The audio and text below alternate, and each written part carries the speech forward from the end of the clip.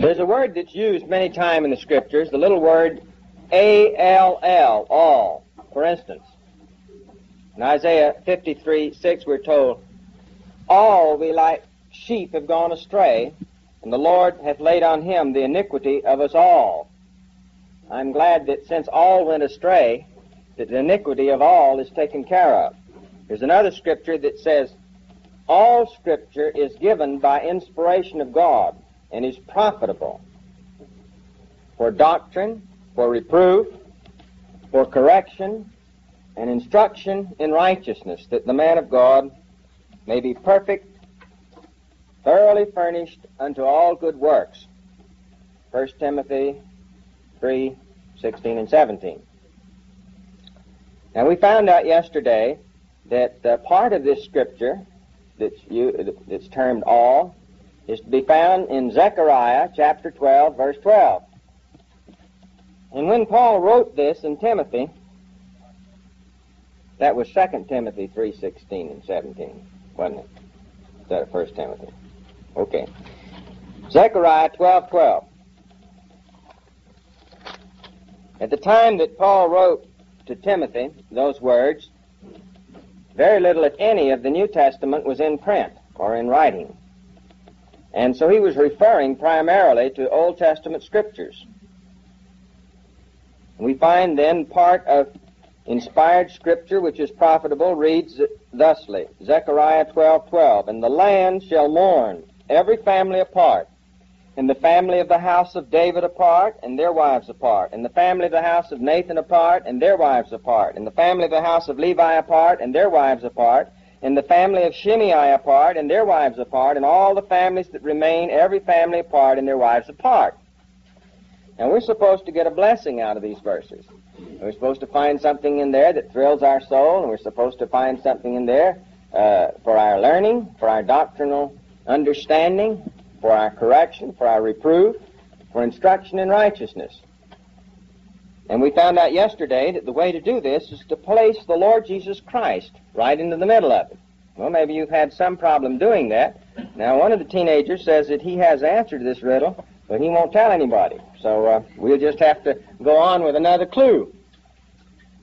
So far, uh, we said that this Shimei involved here is the Shimei that's discussed in uh, the later chapters of uh, 2 Samuel and the first two chapters of 1 Kings.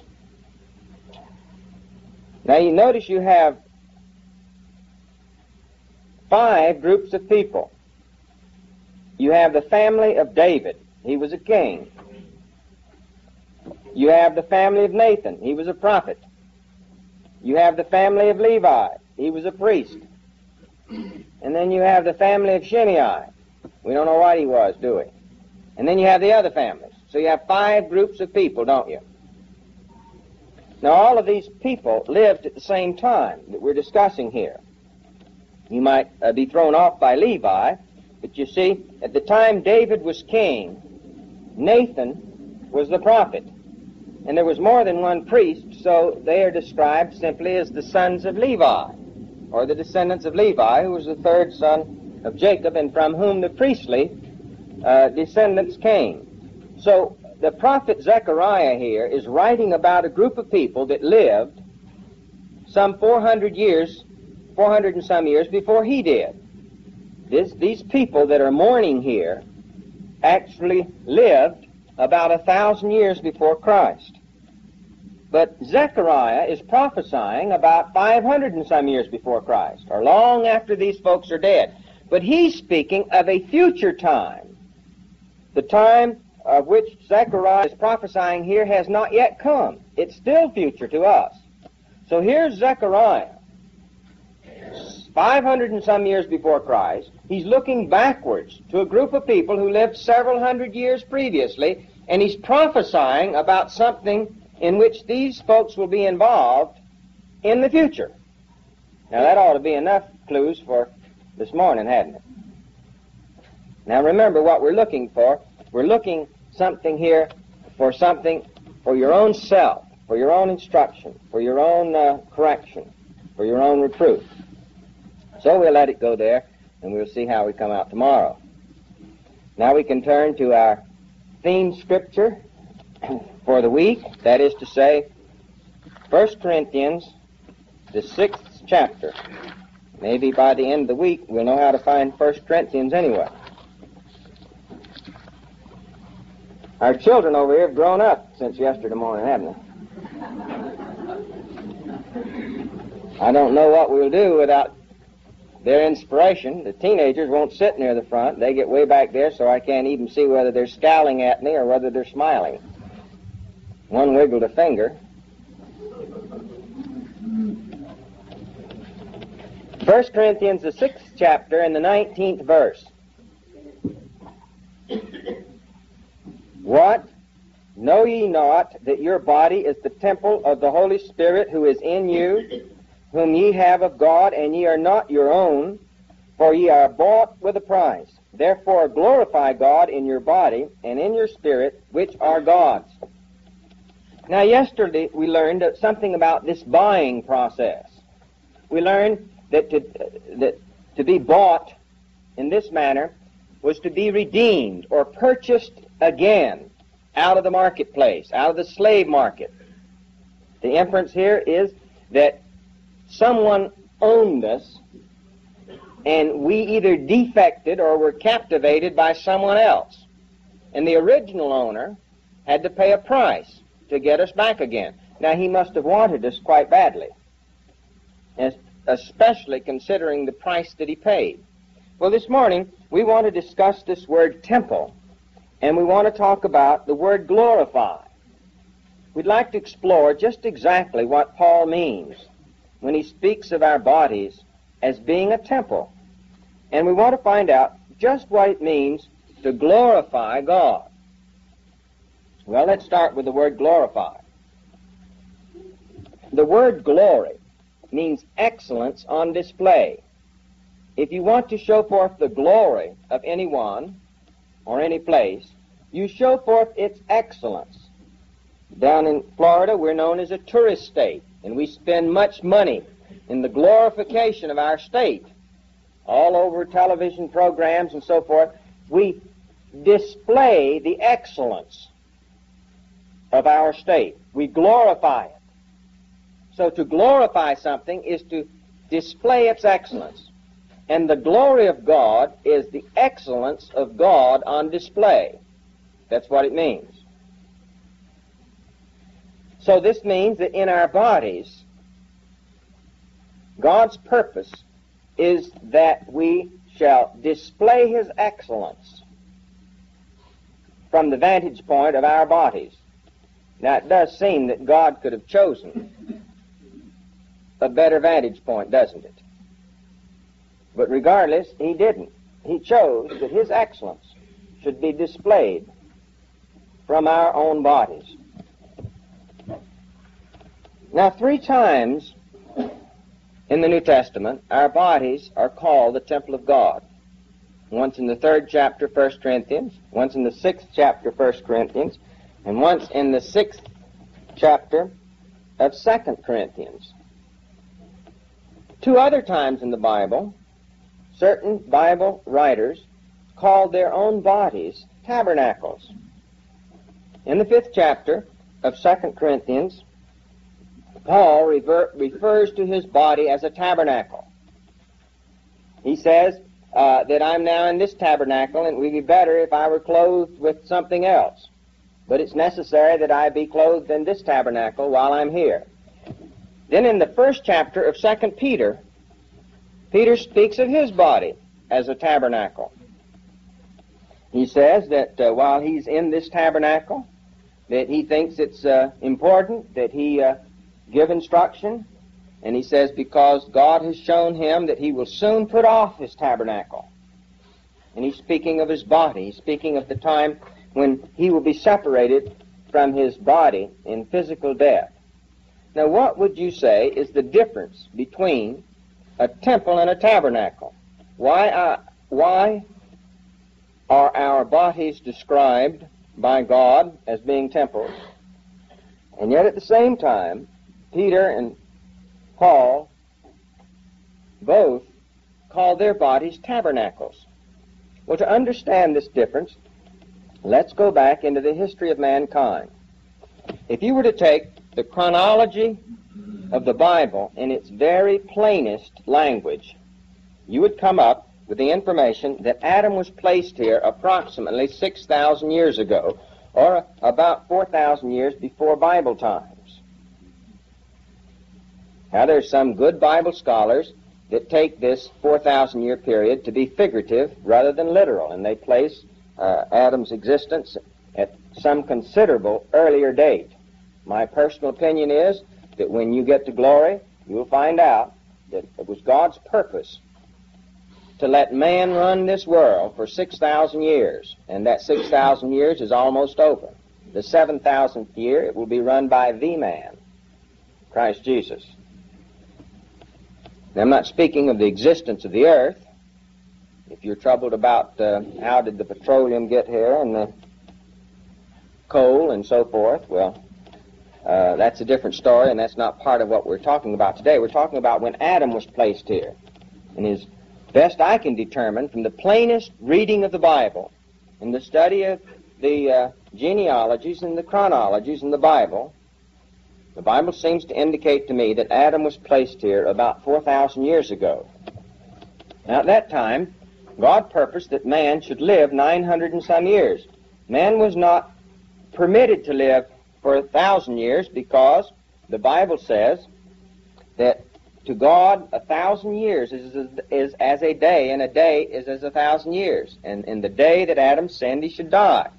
And every man would have to die within the thousand years uh, from which he came on the scene of this earth. That's only one aspect, however, uh, of Adam's death. He died in three ways body, soul, and spirit. And we're only speaking here of his bodily death. But Adam lived for almost a thousand years, or 900 and some years, and all of those patriarchs lived for 900 and some years. Climactic conditions were different at that time. Uh, chemical structures and reactions were different, obviously. Uh, there were no such thing as predatory animals.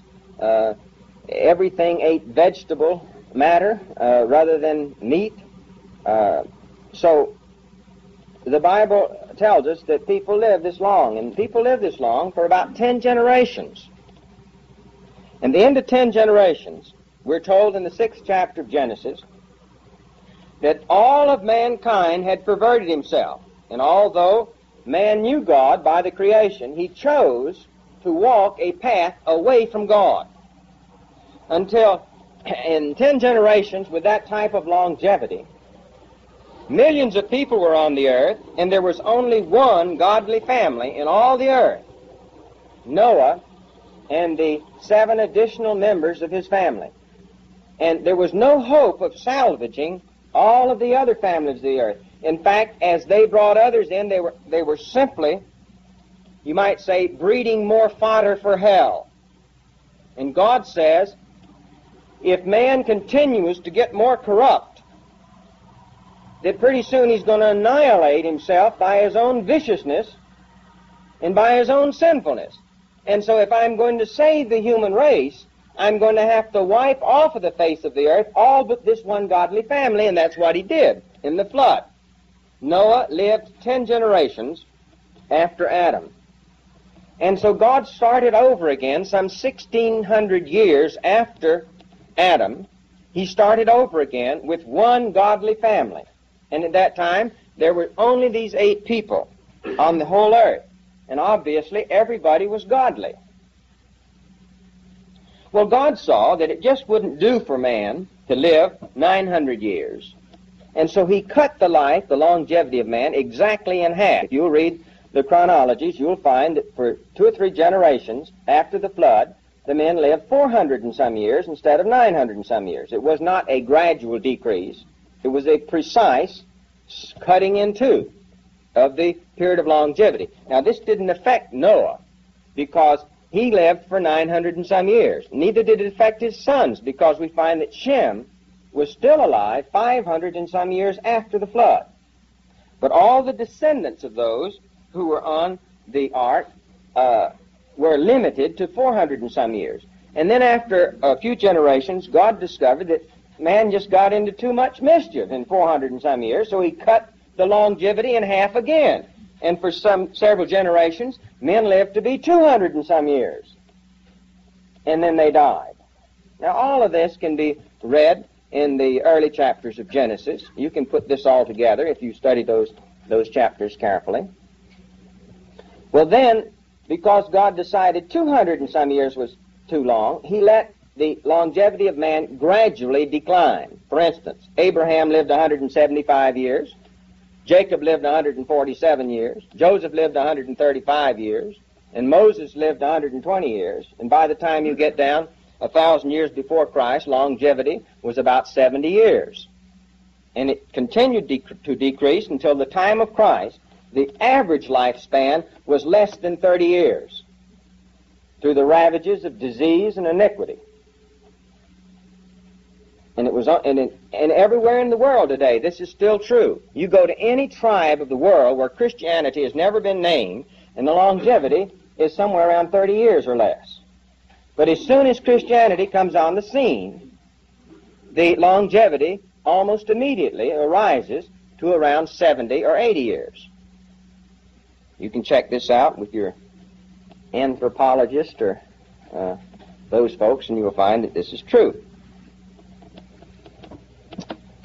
Now, ten generations after Noah, as far as the Bible account indicates, there was only one righteous man on all the earth. There were millions of people here again, and everybody had perverted themselves and gone away from God again. Remember, this is the second time that God uh, started over with the human race. But you see, as the Bible says, we all go astray, even from the womb. We turn from our God and go our own ways.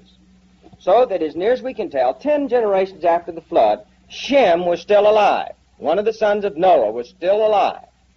And as far as we can tell, he was the only godly man in the whole earth, and he was about to die.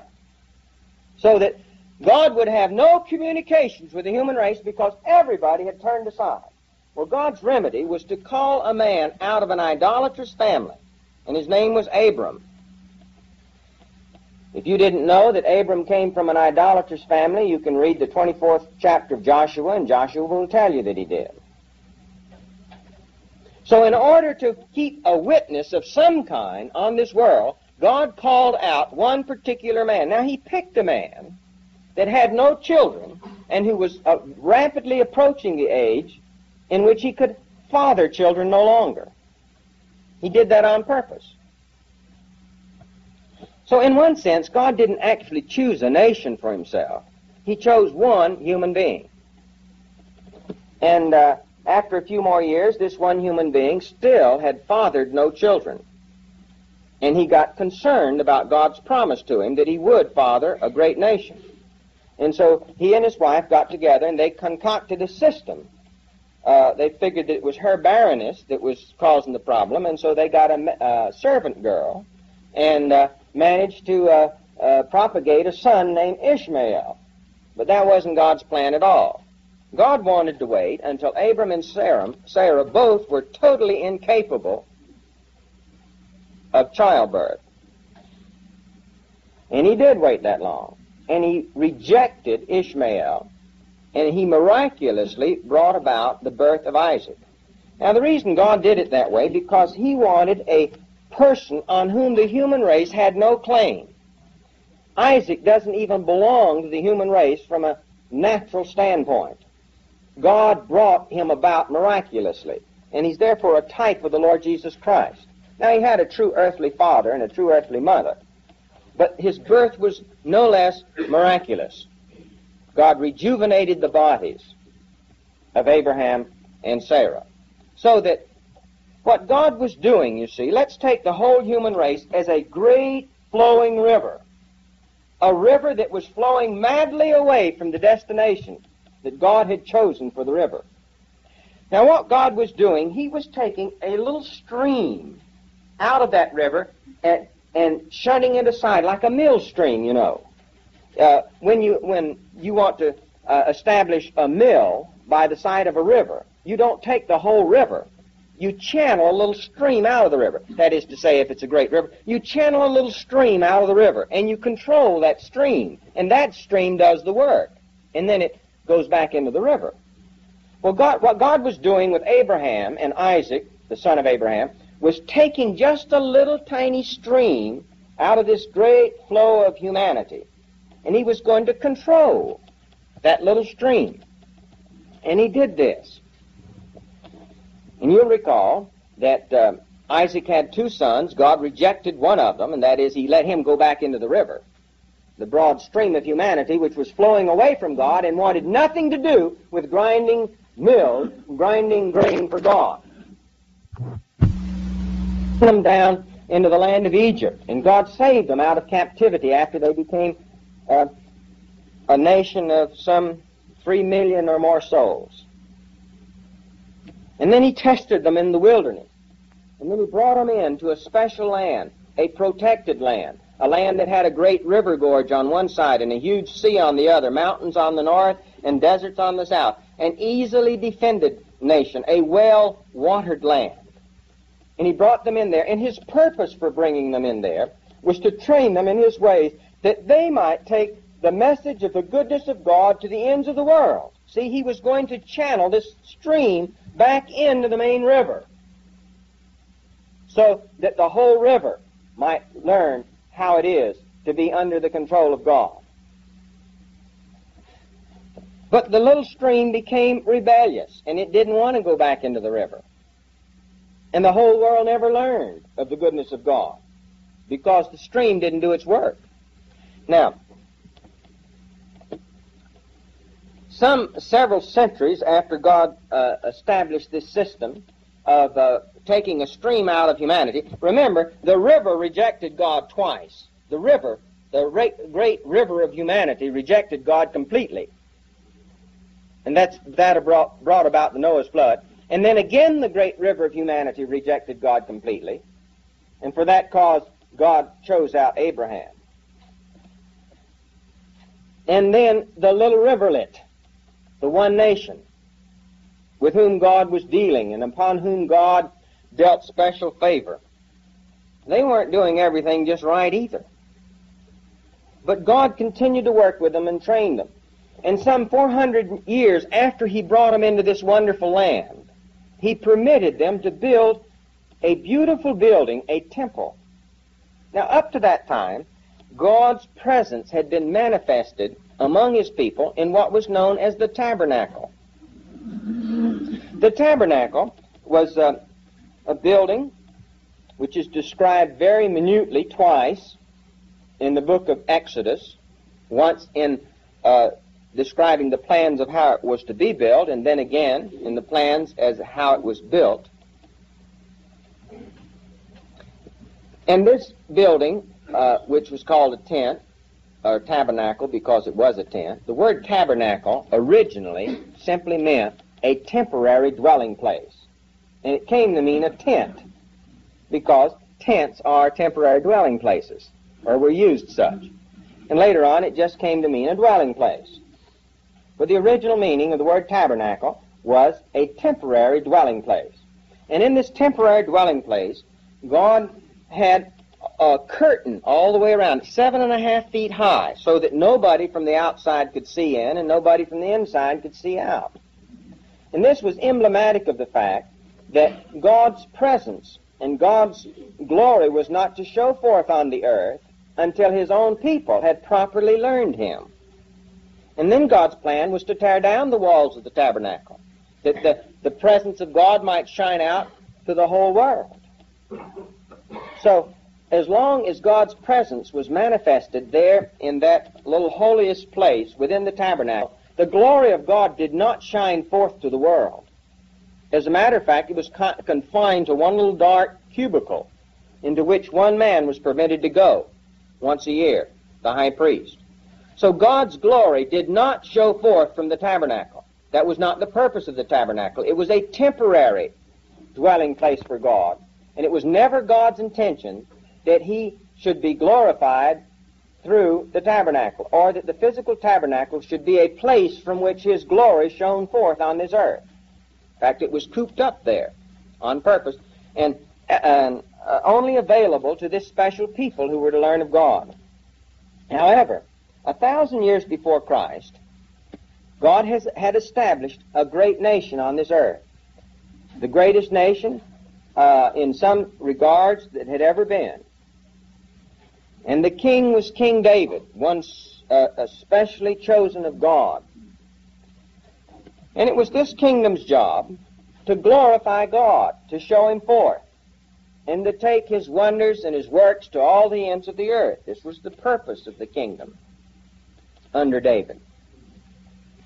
And you'll remember when David died, his son was permitted to build a beautiful building, a very opulent building. If you want to read the story of the building of this building, you will find it in the early chapters of the book of First Kings, and you'll find the story repeated again in the early chapter, chapters of the book of Second Chronicles.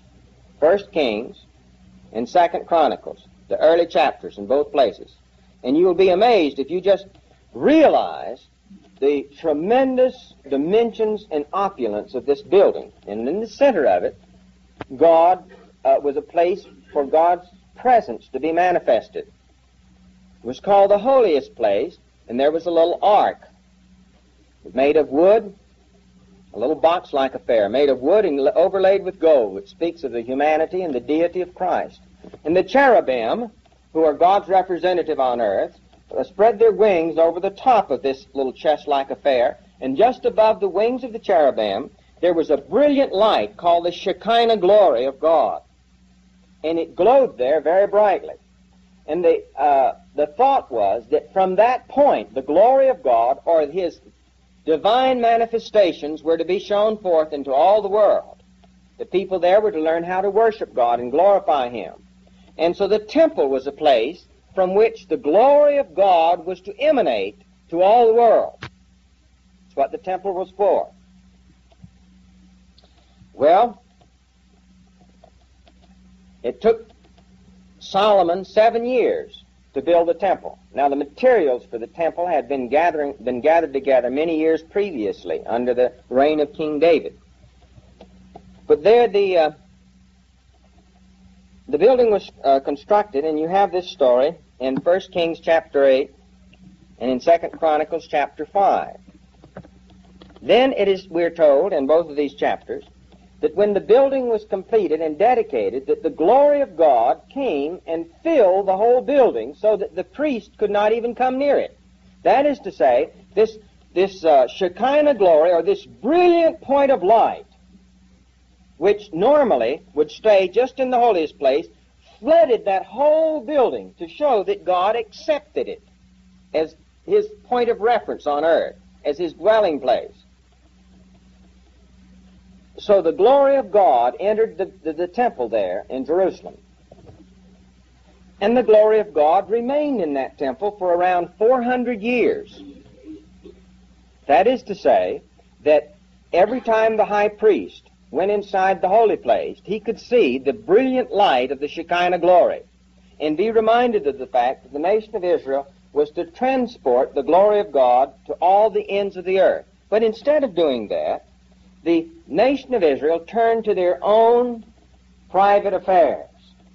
They worshiped as they pleased rather than as God prescribed, and they went about their lives to suit themselves until it was soon said every man did that which was right in his own eyes. Well, the idolatry became so bad, and the iniquity became so terrific, that God finally said, It's a perversion of my righteousness for me to even claim to be among you people. And if you don't straighten up in a hurry, I'm going to let some great nation come and take you into captivity, and your whole temple and your whole city and all that you possess will be laid waste and we'll just postpone this matter of taking my glory to the ends of the earth because you're not proper vessels to do it. But they didn't heed God's warning. And in the book of Ezekiel, and we'll look into this in a little later, in the book of Ezekiel, in chapters 8 through 12, you have the story of the departing of the glory of God from this temple in Jerusalem. This happened about 600 years before Christ was born the glory of God departed from the temple there. And there was no temple in Jerusalem. In fact, it was utterly destroyed. there was no temple there for 70 years. And then God permitted a little group of his people to come back under Ezra and to rebuild the temple. The rebuilding of this temple, uh, the story of the rebuilding of this temple, is told in the first chapters, first few chapters of the book of Ezra. And the completion of the temple is described in the sixth chapter of the book of Ezra. But the glory of God didn't come back to that temple because, you see, his people were not their own people. They were under Gentile domination because the times of the Gentiles or the times of the nations of the world or that time when God just let the nations of the world overflow the world and when he took his presence away from the world to let it sour and steep in its own iniquity. Because the nations of the world were in control and had rejected God, God did not come back with his presence in that temple. You will find no account, although that temple is described in many places in the Bible. We have a story, for instance, by the prophet Haggai, or Haggai, which is the third from the last book in the Old Testament, in the second chapter of Haggai. A scene is described there of when the old people, the old uh, uh, fathers of the nation who had even seen Solomon's temple. They were some of them a hundred years old, and they looked upon this new temple and they wept because it lacked so much in comparison. But Haggai said in the in the second chapter of Haggai, he says, "Don't weep because one day there's going to be a temple sitting here, the glory of which will far outweigh the glory of the former temple." Now that has not happened yet. But one day on that same spot in Jerusalem, there's going to be a glorious temple from which the, the opulence of God and the excellence of God will be on display for this whole world.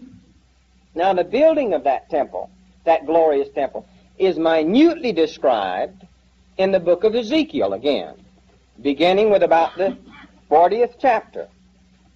Haggai prophesied that there would be such a temple, and Ezekiel describes that temple for us. So now you see, we've described three temples, haven't we? We've described the temple that was built under Solomon, it's known as Solomon's temple, that stayed for 400 and some years. And then we've described Ezra's temple, the rebuilding of the temple. Well, that one was destroyed several hundred years before Christ, a hundred and some years before Christ. God's glory never returned to that temple. Then, if we read the New Testament, we find the story of another temple, don't we? A third temple that was built by Herod, who wasn't even a member of the Jewish nation. He was an impostor. But he built one and he tried to outdo he tried to outdo uh, Solomon. He wanted his temple to be greater than Solomon's temple. But God's glory didn't return to that temple either. Now we have four temples we've described. We've described the temple, the, the first one that was built under the reign of Solomon, into which the glory of God entered and from which the glory of God departed 400 years later. Then we have, secondly, the temple, uh, the rebuilding of the temple under Ezra, some 500 years, 500 and some years before Christ. That temple uh, stayed for a couple of hundred years and was destroyed. The glory of God never entered. Then we had the temple which was present at the time Christ came upon the scene Herod's temple. There's the third one. Then we found out that there's going to be another one still future. Well, there's, since there's seven temples, we've left out three, haven't we? Well, we know what the seventh one is. The seventh one is that one which was described by Haggai the prophet as being greater than that one built by Solomon. And it's the same one that's described, the building of which is described by Ezekiel. Well, in the 11th chapter of Revelation, you have a short description of a temple that will be built during the time of Jacob's troubles. That is, the time of the Great Tribulation, which is still future. That one will only last a short while, and it will be inhabited by the desolation of abomination. That is to say, the Antichrist will take it over and do his own thing there.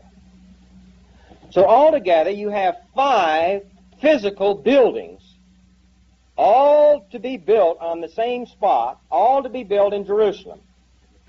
We need two more. We need two more. We've, we've had five. Now, I want to describe those five for you again so that you'll get it in your mind's view. There needs to be seven totally. Number one, the temple that Solomon built, which was supposed to be that temple from which the glory of God or the God's excellence on display was to be taken to all the nations of the world. Solomon's temple lasted 400 and some years, destroyed by the armies, armies of Nebuchadnezzar after the departing of God's glory. We're going to see this in Ezekiel in just a few minutes. Temple number one. Temple number two. Ezra brought back from captivity 500 and some years before Christ a group of Israelites and they rebuilt the temple on the same site. The description of that culminates in the sixth chapter of Ezra. Number two, the glory of God did not come back to that temple. Number three, Herod began the construction of a very opulent temple before the birth of Christ, and it was 46 years in building. And it was there all during the life of Christ. The glory of God never came to that temple. It was used primarily by the money changers and so forth when Christ was here. That's uh, that's number three. One, two, three. Number six. Let's skip four and five. Number six will be built by Mr. 666, or he will be built under his uh, blessing, be built by the nation of Israel, but he will take it over, and he will be worshipped from that temple in Jerusalem at the same spot during the time of the tribulation. You can read all about that worship in the 13th chapter of Revelation. That's temple number six. Temple number seven is the one that will be built immediately as soon as the king comes back to this earth. And the glory of God will again enter that temple. And it will be a greater temple, Haggai says, than Solomon's temple. And it will be in Jerusalem throughout the millennial reign of Christ and the glory of God will show, show forth from that temple. So we have then one, two before the birth of Christ, one during the birth of Christ, number three, two yet to come, and we've left out number four and five.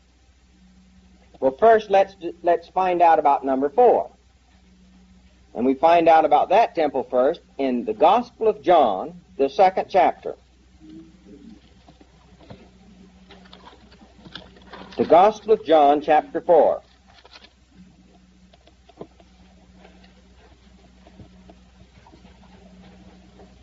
No, chapter 2.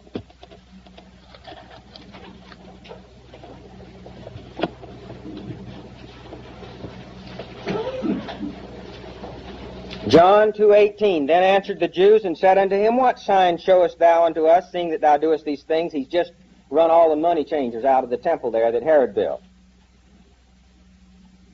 19th verse, Jesus answered and said unto them, Destroy this temple, and in three days I will raise it up.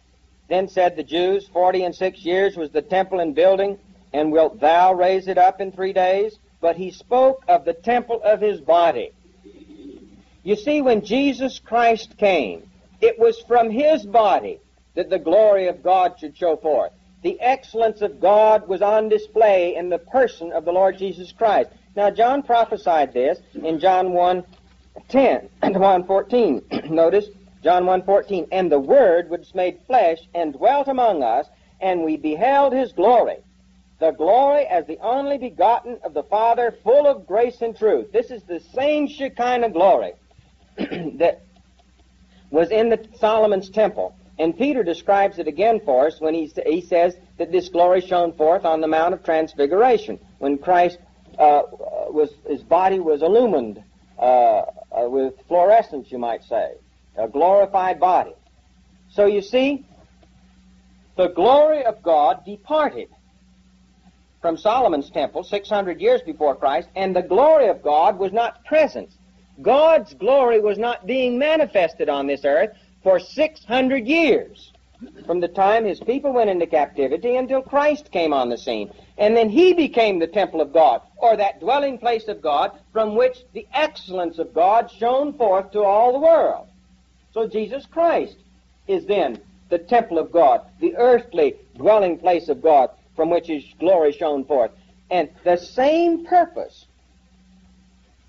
the same purpose of God was to emanate from the body of Christ as emanated from the temple at Solomon. The same purpose. That is to say, when Christ came, his people were to receive him as the Shekinah glory, as the presence of God, as the glory of God manifested, and from that point, they were to spread the goodness of God to all the nations of the world. Jesus Christ offered himself to his own people as the Shekinah glory of God and as the King from whom the presence of God would go forth. But he came unto his own, the Bible says, and his own received him not. The Shekinah glory again was snuffed out. Now, why was it snuffed out? Well, in the 17th chapter of John, we're given a clue to that.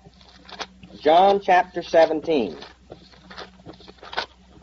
Now, perhaps I should uh, place the setting of John chapter 17 for you again. I, I did this last year. I did it uh, at one of the evening uh, sessions we had. A careful study of the book of John will show that the first six chapters cover the early ministry of Christ, and all of the chapters of John, beginning with the seventh chapters, all seventh chapter, all the way the rest of the book, describe the last six months of his ministry. And most of those, distra- uh, those um, chapters describe the last week of his ministry. And a large part of them describe the last few hours of his ministry. In the 13th chapter, for instance, you have the Lord's Supper in the upper room, the washing of the disciples' feet, and you have that instance when Jesus told them on the morrow he'd be crucified.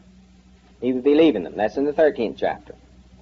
Then in the 14th chapter, as they sat around the table there in the upper room the night before his crucifixion, he comforted, comforted them with the words that begin, all of you know it, don't you? Let not your hearts be troubled. You believe in God, believe also in me.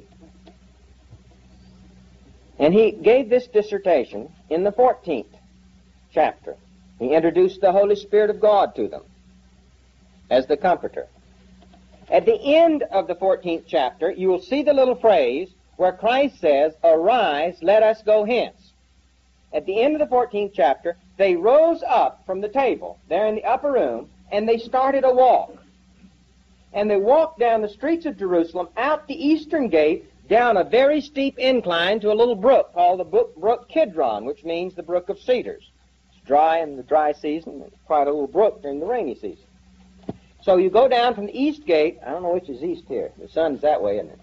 Okay. You go out the east gate of Jerusalem, and you walk down a very steep in, uh, decline or slope to this little brooklet. And then you have a steady incline up the Mount of Olives, and the short way up the side of the Mount of Olives is the Garden of Gethsemane.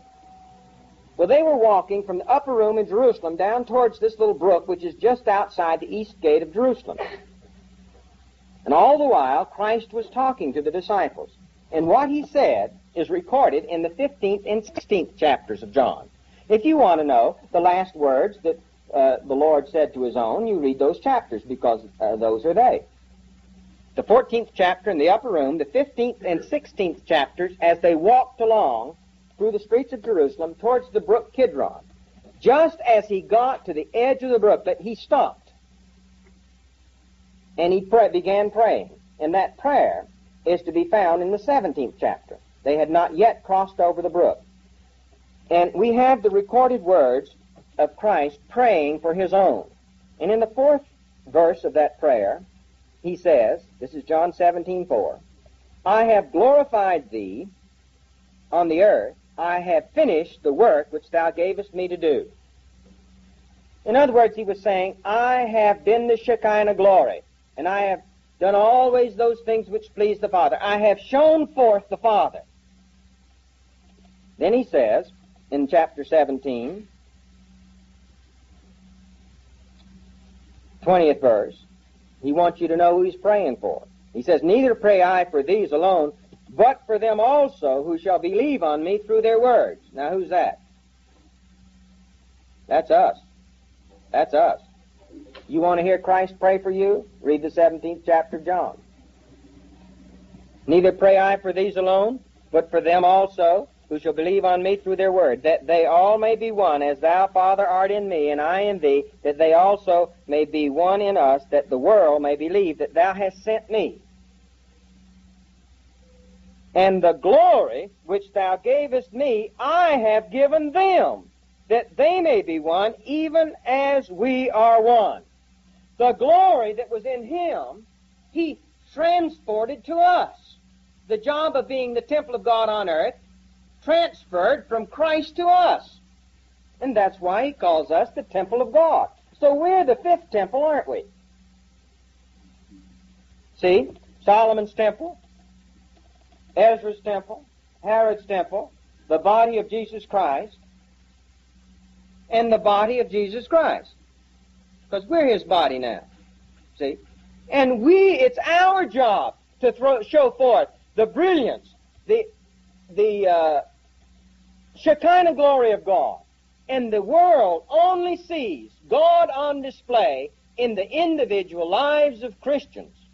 And it's our responsibility to show forth the glory of God to all the world. That's what we're here for. We're the temple of God.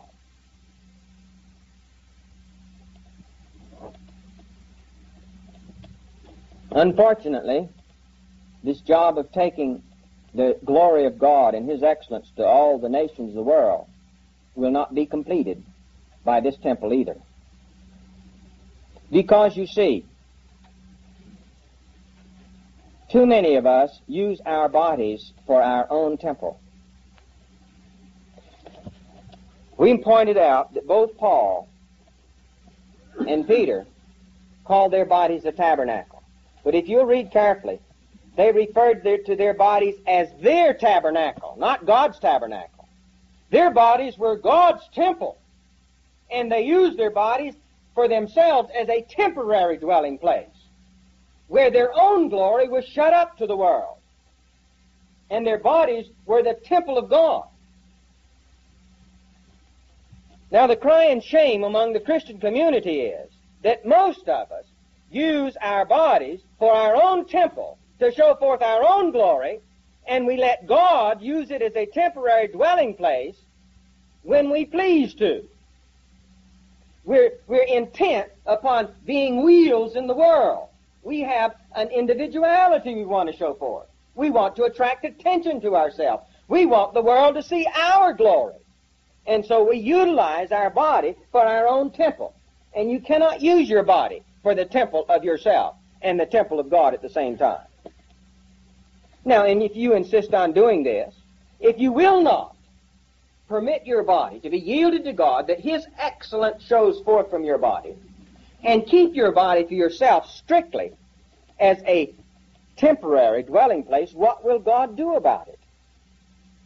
What will God do about it? He will take away your ability to be a temple. And the authority for that is right back in our scripture in 1 Corinthians, and you may turn there with me. Now, he wants you to be the temple of God. Jesus Christ, in his high priestly prayer to God, he says, God, this way that I've been glorifying you, I transmit this over to these that will hear from the words of these apostles, these that will be saved down through the ages. 1 Corinthians chapter 3.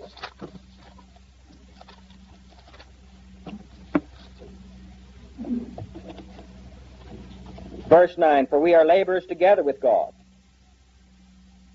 Verse 11, for other foundation can no man lay than that is laid which is in Christ Jesus. Now if any man build upon this foundation gold, silver, precious stones, wood, hay, stubble, every man's work shall be made manifest, for the day shall declare it, because it shall be revealed by fire, and the fire shall try every man's work of what sort it is. If any man's work abide, which he hath built upon it, he shall receive a reward. If any man's work shall be burned, he shall suffer loss, but he himself shall be saved, yet as by fire. Know ye not that ye are the temple of God, and the Spirit of God dwelleth in you? If any man defile the temple of God, him shall God destroy, for the temple of God is holy, which temple ye are.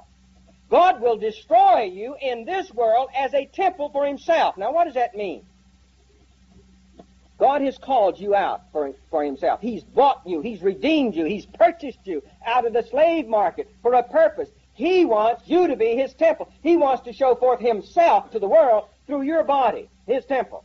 But if you insist on using your body for your own temple to display your own wares and to be a wheel in the world and important in the world, if you insist on having your way, expressing your own individuality, I do it this way because I want to.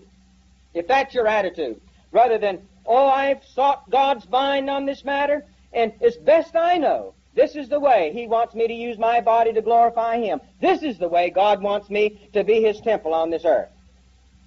Now you have a choice. And if you insist on rejecting, now uh, this is particularly for young people, I'll tell you. I hear many young people say, well, I'm going to have some fun now, or they say it, and maybe not in these words, and when I get a little older, like Mr. Kelso or some of the rest of them, well, then I'm going to surrender to God, and I'll let Him use me from then on. You will not, because God won't have you. If that's the way you're uh, you're, you're thinking about it. Because if you defile, if you defile God's temple and continuously defile it, He won't use you for a temple anymore. And that's what it means by the destruction of the temple. Paul speaks about a, a young fellow in the fifth chapter, 1 Corinthians. And this young fellow was living in gross immorality. And he says, if he doesn't repent, turn his body over to Satan. Turn his temple over to Satan. Let it be Satan's temple. That his spirit might be saved in that day. Now, this was a truly born again young man. Didn't mean he was going to hell.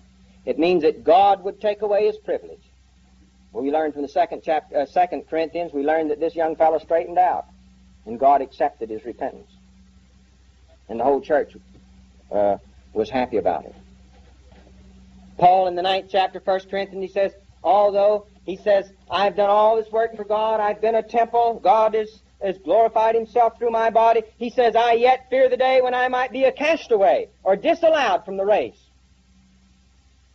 He said, This is possible. This is possible. Now, from practicality, how does it come about? How does somebody lose his right to be? How does a Christian, a saved person, lose his right to be the temple of God?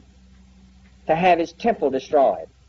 Or that is to say, have God turn his temple over to Satan, that Satan might have his glory shown forth from that body as long as it's here on this earth. Oh, what a horrible thought for a redeemed person. Well, let's turn back to Ezekiel. You may have a little hard time finding this. Most Christians don't read much from Ezekiel. But it comes right after Lamentations, which comes right after Jeremiah, which comes right after Isaiah. Ezekiel chapter 10.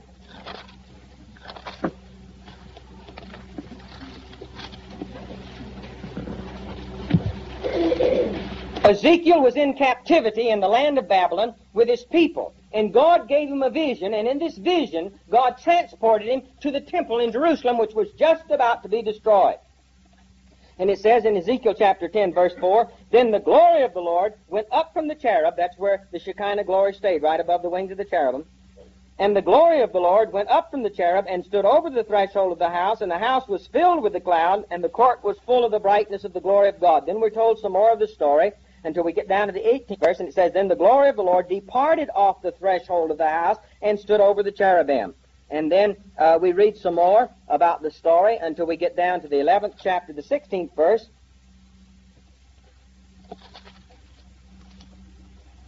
No, 1123, where it says, And the glory of the Lord went up from the midst of the city and stood upon the mountain which is on the east of the city. Now let me describe this. Ezekiel saw a vision, and when he got to the place of his vision, which was the temple in Jerusalem, he saw the Shekinah glory of God over the cherubim, where it was supposed to be, right where God intended it. And then, if we had time to read all the story, Then he was given a vision of all of the iniquity around that temple. People worshiping idols and trading in God's place and doing all the things God said not to do.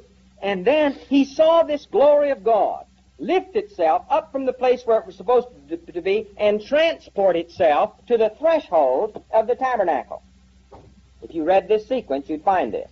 God was so much as saying, I'm not leaving yet. I've only gone part way, and if you'll straighten up your lives, I'll come back where I'm supposed to be. Now, I'm, I mean business, and I've already left the central place, and I've already gone out to the threshold or the doorway of the tabernacle, and then uh, Ezekiel is given another vision of the hardness of the hearts of the people, and the Shekinah glory lifts himself up, lifts itself up from the threshold, and places itself out in the courtyard in front of the temple.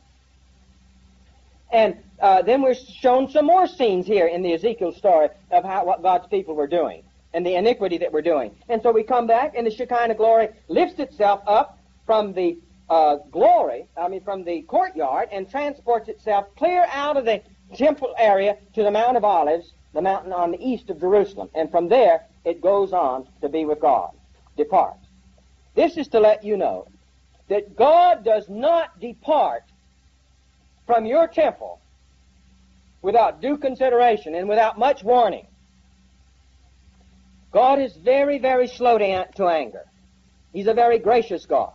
And He deals with His own children. And He deals with them and deals with them. He deals with you about the fact that you want to use your body as your temple in His tabernacle. He deals with you over and over again.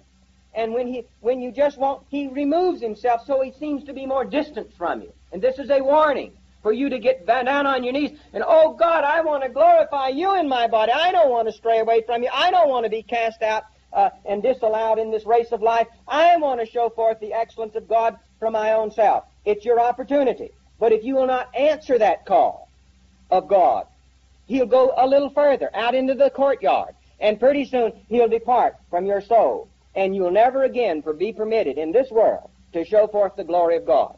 And does that mean you're lost and going to hell? Well, thank God in Ezekiel we have uh, some later chapters. And look with me, if you will, in Ezekiel chapter 43.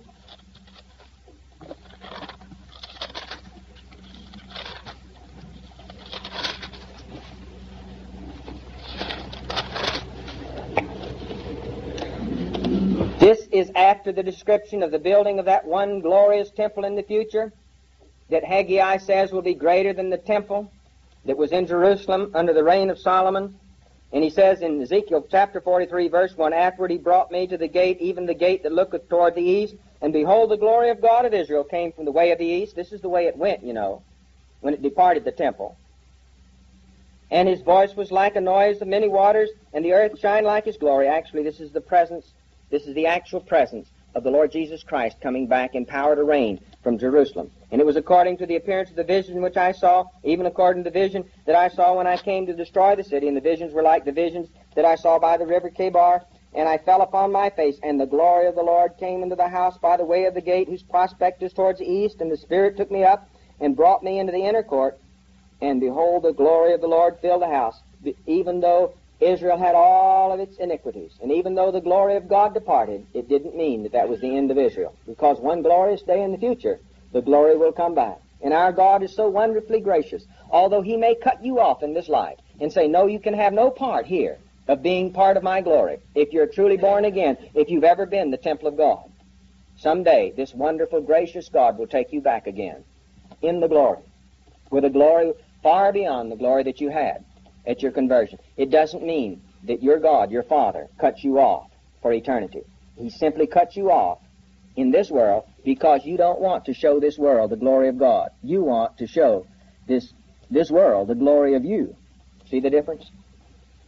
Oh, what a fearsome thing to treat lightly the wonderful privileges granted to us by God. Oh, that my heart's cry might be, God, let my body be for me just a tabernacle, just a temporary dwelling place, just a place of habitation in a desert world, just a tent placed up. God, let me never take this body and decorate it and braid it and de- and and make it my my uh, goal and make it uh, my place to show forth my excellence. God, teach me not to cater to this flesh, to show forth the excellence that I have. But God, teach me how to yield myself, and that I might show forth the glory of God to a lost and dying world, which God purposed down through the eternal ages. And my friend, if you will submit your body for that purpose, if you will submit your body to that purpose, oh, the wonderful eternal rewards. Now, does that mean that God wants you to be a non-entity forever? No. He wants you to be willing to hide your life in Christ. Because the Bible says in the third chapter of Colossians, what God wants to do is to send your individuality back to you for eternity. See, He wants you to uh, trust God to let your own expressions be hidden in Christ now. And then He wants to bring forth your own glory. See, you don't need to be a temple for God in the next world. Because Jesus Christ will be the temple himself, we're told in Revelation. No, there's going to be a time when God will want you to show forth your own glory.